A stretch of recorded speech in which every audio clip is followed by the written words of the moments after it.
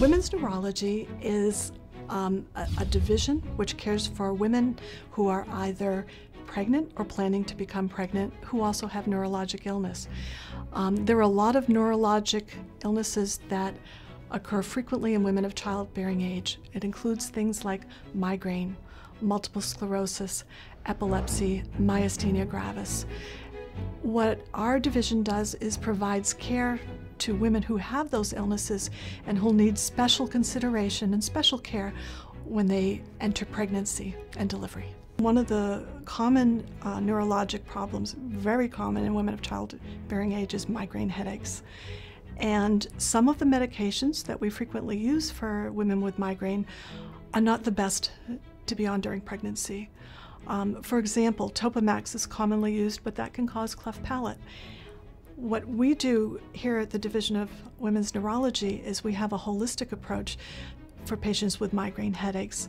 Um, we will taper them off of the Topamax and we will generally put them on a combination of magnesium, 250 to 500 milligrams, and vitamin B2, 200 to 400 milligrams, as a preventative for headaches. When they do develop their headaches, we generally recommend Tylenol for rescue. We're about to conduct a study on Arnold-Chiari malformation. And Arnold-Chiari malformation is um, a congenital malformation involving the cerebellum, which is an area of the brain in the back of the brain.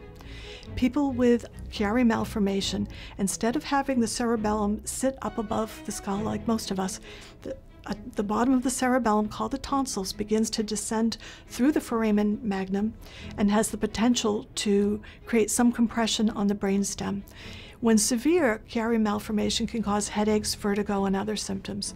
Most patients who have it are asymptomatic. In the past, we have generally directed women who have Chiari malformation to have cesarean sections rather than vaginal delivery due to concern that when they're in the second stage of labor and pushing hard, that that could actually worsen her Chiari malformation.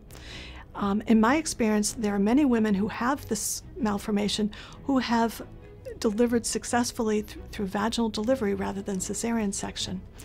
Um, what the goal of our study is, is to evaluate women who have delivered at Magee within the past five years and to identify those women who were ultimately either before or after delivery found to have the Chiari malformation.